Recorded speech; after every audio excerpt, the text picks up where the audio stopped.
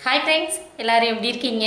இன்றைக்கி நம்ம வீடியோவில் என்ன பார்க்க போகிறோன்னா எங்களோட நைட்டு சமையல் என்னென்னு தான் பார்க்க போகிறீங்க இன்னைக்கு வந்துட்டு சப்பாத்தியும் அதுக்கு வந்துட்டு ஒரு தொக்கும் தான் செய்ய போகிறேன் காய்கறி எதுவும் இல்லாமல் சூப்பராக வாங்க எப்படி செய்யலான்னு பார்க்கலாம். இன்றைக்கி நானே தான் வந்துட்டு வீடியோ எடுத்துக்கிட்டு சமையல் செய்ய போகிறேன்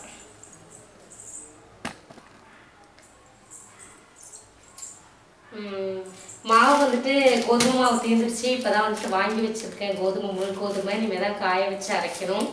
கடையில் தான் வந்துட்டு மாவு வாங்கியிருக்கோம். ஃபஸ்ட்டு வந்துட்டு மாவு பசஞ்சு வச்சிடலாம்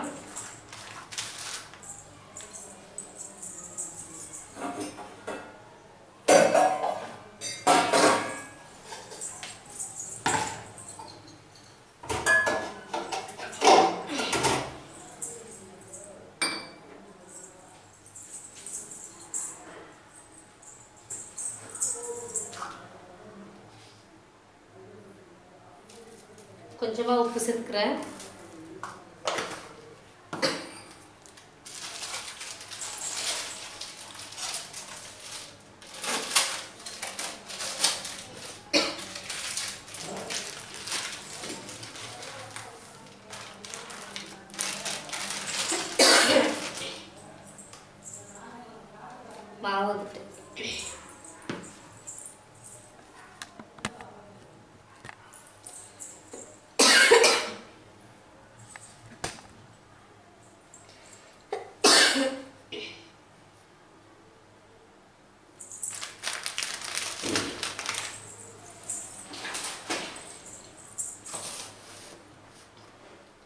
மாவு வந்து பசிக்கலாம்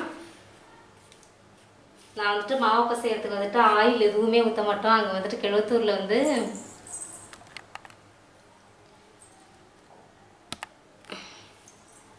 ம், நாங்கள் வந்து சப்பாத்திக்கு மாவு பசைகிறப்ப வந்துட்டு ஆயில் எதுவுமே ஊற்ற மாட்டோம். ஊற்றாமலே தான் செய்வோம் அங்கே அக்காலாம் வந்துட்டு அப்படி தான் செய்வாங்க. அது நான் அக்காலாம் வந்துட்டு கிழத்தூரில் அப்படி தான் செய்வாங்க. அதனால நானும் அப்படியே தான் செஞ்சு பழகிட்டேன் கொஞ்சம் கொஞ்சமாக தண்ணி ஊற்றி நல்லா வந்துட்டு மாவு பசைக்கலாம். அங்கே அக்கா வந்துட்டு ஆனந்திக்காக ஒரு சொட்டு கூட ஆயில் கலாக்காவும் சரி ஆனந்திக்காவும் சரி. ஒரு சொட்டு கூட ஆயில் ஊற்றாம தான் வந்துட்டு சப்பாத்திக்கு மாவு பசைவாங்க. போட்டு எடுக்கிறதும் அப்படி தான் ஏன்னா ஆயில் அதிகமாக சேர்த்துக்கூடாது அப்படின்ட்டு.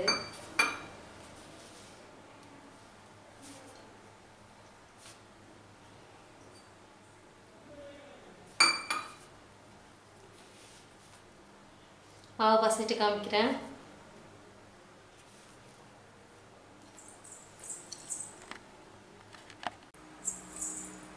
பாருங்க மாவு வந்துட்டு நான் ஆயில் எதுவும் ஊற்றாம நல்லா பசஞ்சு கொண்டு வந்துட்டேன். நல்லா சாஃப்டாக இருக்கு. இப்போ வந்துட்டு மாவை மூடி வச்சுட்டு நம்ம வந்துட்டு தொக்கு ரெடி பண்ணிடலாம்.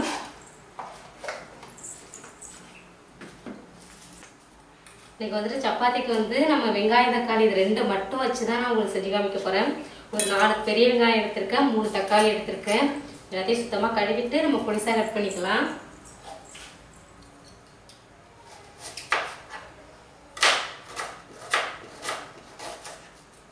தக்காளி வந்துட்டு மிக்சியில் வந்து பேஸ்ட் மாதிரி அரைச்சிக்க போகிறோம் வெங்காயத்தை மட்டும்தான் கட் பண்ணி போகிறோம் பொடிசா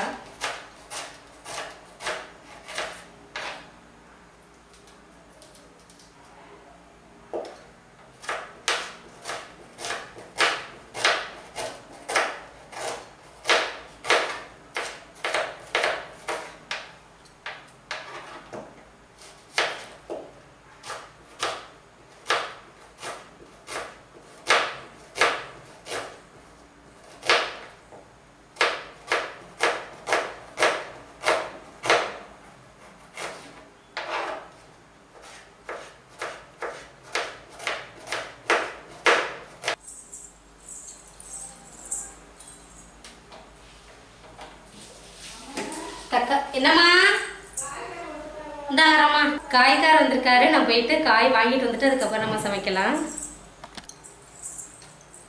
நான் போயிட்டு நான் போயிட்டு காயெல்லாம் வாங்கிட்டு வந்துட்டேன்.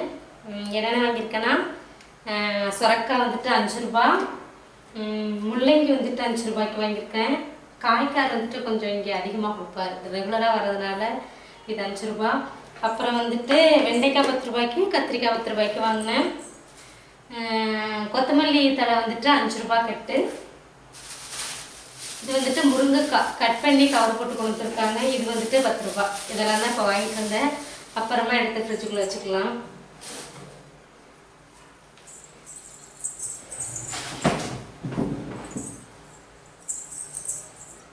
இப்போ வந்துட்டு வெங்காயம் பச்சை மிளகாய் கட் பண்ணிட்டேன். மூணு தக்காளியை வந்துட்டு நல்லா பேஸ்ட் மாதிரி அரைச்சிட்டு வந்துட்டேன். இப்போ வந்து நம்ம ரெடி பண்ணிடலாம் தொக்குக்கு.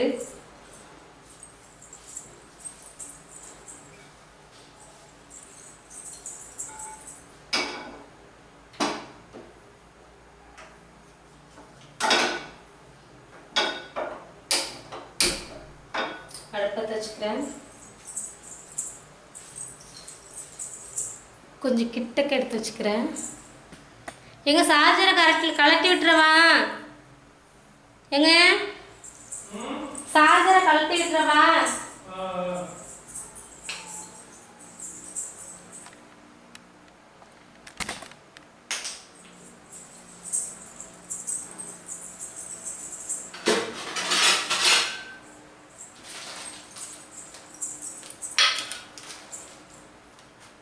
பட்டாசு வந்துட்டு எல்லாம் இருக்கு. பிரியாணி இலை மட்டும் இல்லை.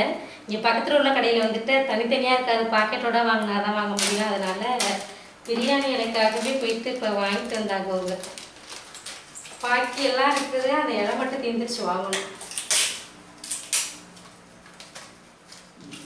இலை மட்டும் இதுலேருந்து எடுத்துக்கிட்டா பாக்கிலாம் அங்கேருந்து எடுத்துக்கலாம்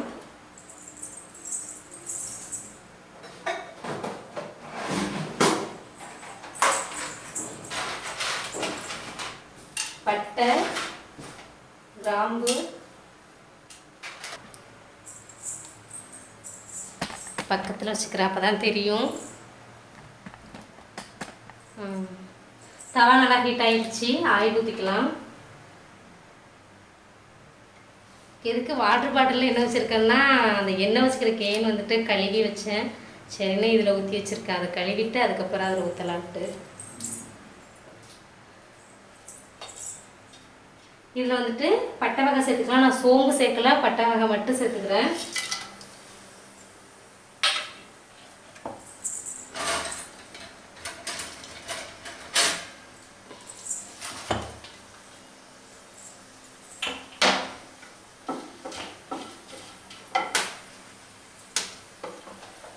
பட்டை வகை பொரிஞ்சிருச்சு வெங்காயம் சேர்த்துக்கலாம்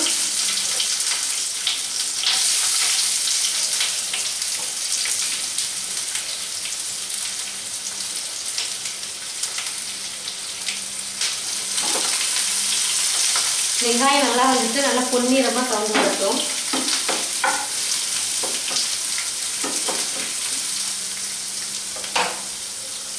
வெங்காயம் நல்லா வதங்கட்டும். அதுக்கு இஞ்சி பூண்டு பேஸ்ட் வந்துட்டு நல்லா வந்துட்டு கல்லில் வந்து இடிச்சிட்டு வந்துடுறேன்.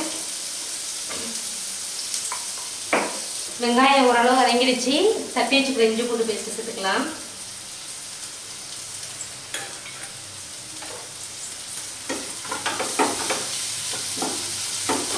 இஞ்சி பூண்டு பேஸ்டோட பச்சை வாசனை நல்லா போய் நல்லா வதக்கிக்கலாம்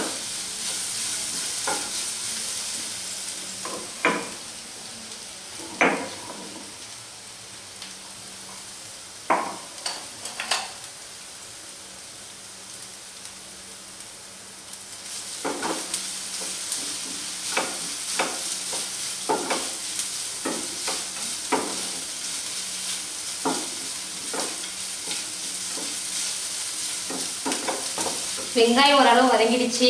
இப்போ வந்துட்டு நம்ம தக்காளி வந்து நல்லா மிக்சியில் பேஸ்ட் பண்ணி வச்சுருக்கோமா? தக்காளியை சேர்த்துக்கலாம்.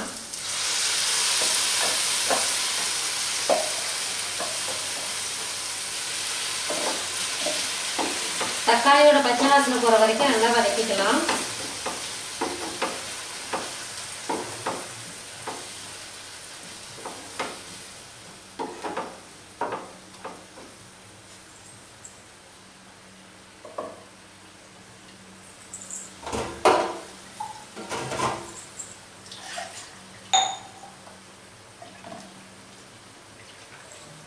நான் வந்துட்டு தக்காளி அரைச்ச அந்த மிக்சி சாரில் வந்துட்டு கொஞ்சமாக தண்ணி ஊற்றி அதையும் ஊற்றிக்கிறேன்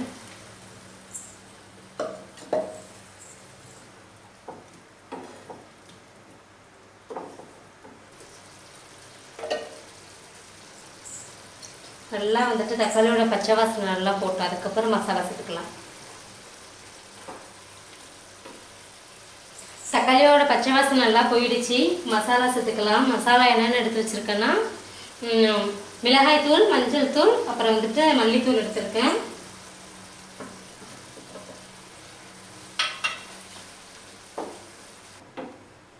நான் வந்துட்டு தேவையான அளவு தண்ணி ஊற்றிட்டேன்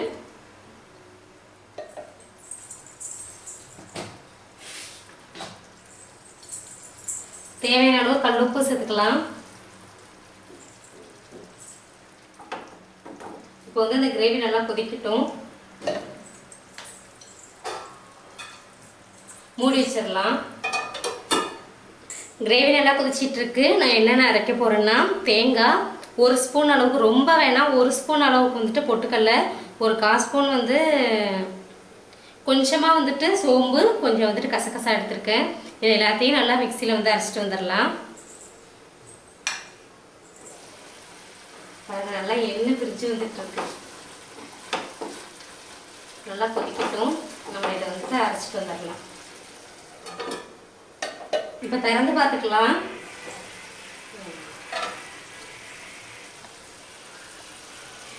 பாருங்க மசாலா சேர்த்து நல்லா கொதி பாருங்க மசாலா சேர்த்து நல்லா கொதிஞ்சிட்டு இருக்கு நல்லா எண்ணெயும் நல்லா பிரிஞ்சு வருது பாருங்க.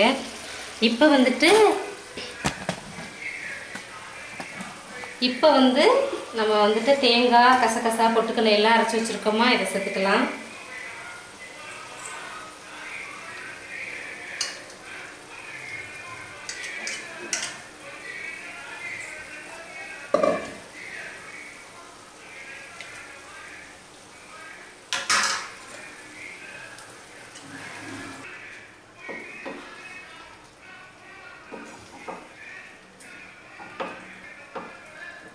நல்லா கலந்து விட்டுட்டேன்.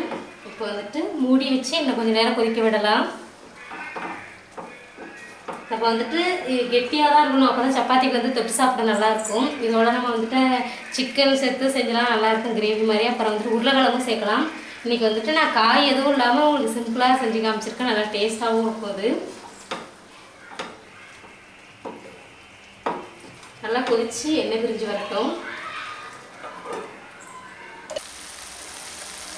பாருங்க.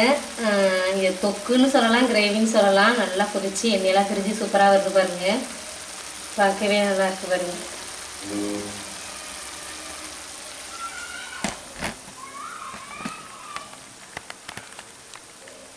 இப்போ வந்து நம்ம கொத்தமல்லி தலை தூவி நம்ம இறக்கிடலாம்.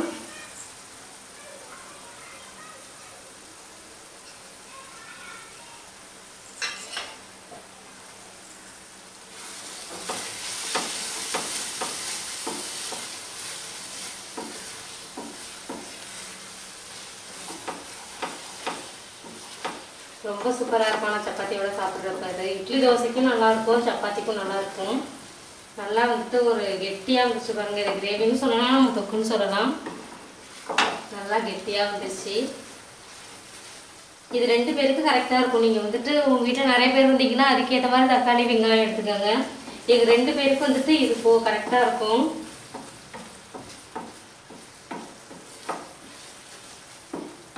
அவ்வளோதான் சூப்பராக வந்துட்டு சப்பாத்திக்கு ஏற்ற ஒரு தொக்கு ரெடி ஆயிடுச்சு. இப்போ வந்து நம்ம அடுப்பை ஆஃப் பண்ணிடலாம்.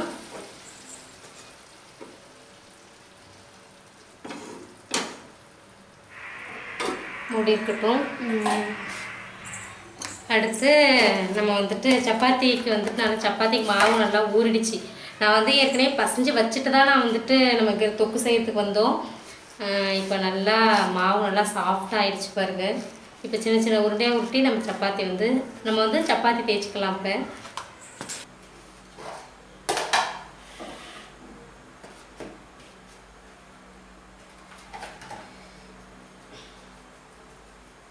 சின்ன சின்ன உருண்டையாக ஃபஸ்ட்டு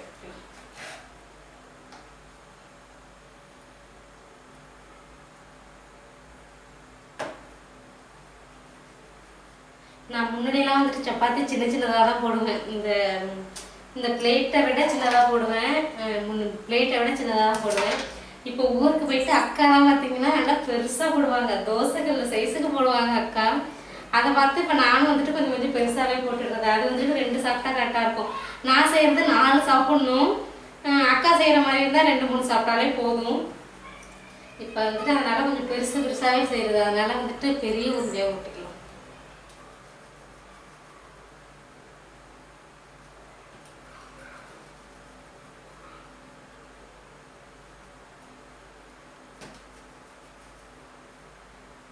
இப்படி கைக்குள்ளே வச்சு இப்படி செய்கிறப்ப கரெக்டான அளவு வந்துடும்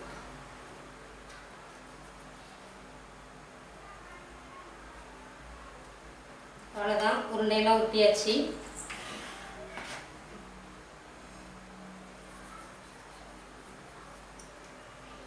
நான் வந்துட்டு உருண்டை வந்து இந்த சைஸ்க்கு எடுத்திருக்கேன். கோதுமை மாவு வந்து தேய்க்கிறதுக்கு வந்துட்டு உதிரி கோதுமை மாவு எடுத்திருக்கேன்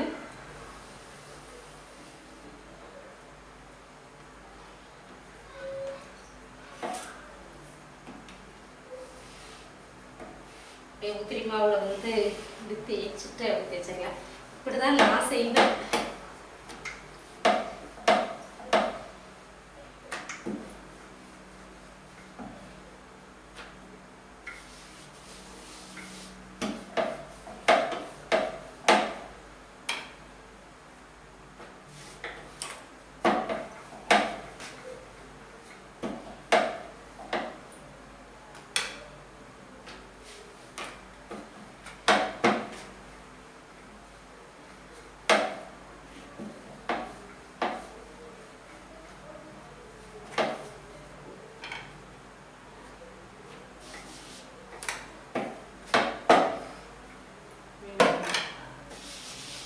சப்பாத்தி தேய்ச்சிட்டேன் என் சப்பாத்தியை வந்து கிட்டக்க பாருங்க.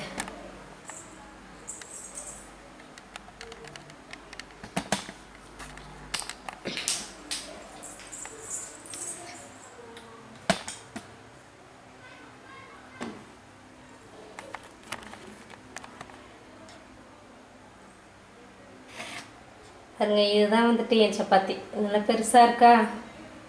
இப்படி தான் நான் வந்து தேய்க்குவேன்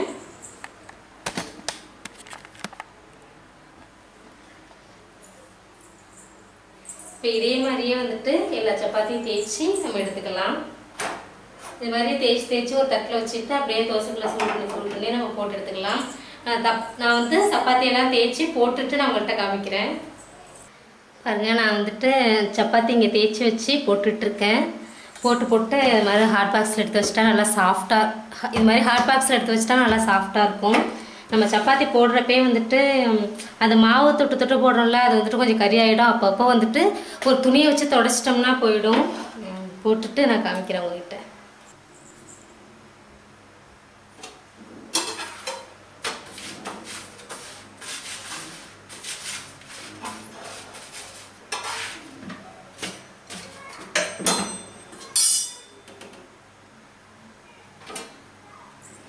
லாஸ்ட்டு சப்பாத்தி. தீர்ந்துச்சு அவ்வளோதான் எங்களோட நைட்டு சமையல் வந்து முடிஞ்சிருச்சு. இப்போ உங்கள்கிட்ட காமிக்கிறேன். சப்பாத்தி ரெடி ஆயிடுச்சு.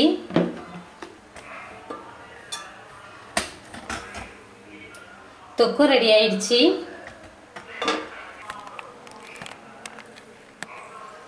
அவ்வளோதான் இப்போ நாங்கள் போயிட்டு சாப்பிட போகிறோம் இதோட இந்த வீடியோ முடிச்சுக்கிறேன். இதை பார்த்துட்டு எப்படி இருந்ததுன்னு கமெண்ட்ஸில் சொல்லுங்கள் நீங்களும் இதே மாதிரியே வந்துட்டு டக்குன்னு செஞ்சிடலாம். காய் எதுவும் இல்லாமல் டக்குன்னு வந்துட்டு அந்த தொக்கு செஞ்சிடலாம். கண்டிப்பாக செஞ்சு பார்த்துட்டு எப்படி இருந்ததுன்னு சொல்லுங்கள் இந்த வீடியோ உங்களுக்கு பிடிச்சிருந்ததுன்னா லைக் பண்ணுங்கள் ஷேர் பண்ணுங்கள் கமெண்ட் பண்ணுங்கள் மறக்காமல் சப்ஸ்கிரைப் பண்ணுங்கள் அப்படியே பக்கத்தில் உள்ள பெல் பட்டனை கிளிக் பண்ணிக்கோங்க. நான் வந்துட்டு இப்போ ஒரு பிளேட்டில் வந்துட்டு சப்பாத்தி அந்த தொக்கெல்லாம் எடுத்து வச்சு ஒரு ஃபோட்டோ எடுக்க போகிறேன்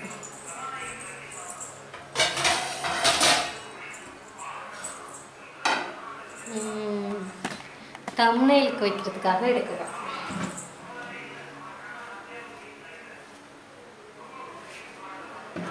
சப்பாத்தி.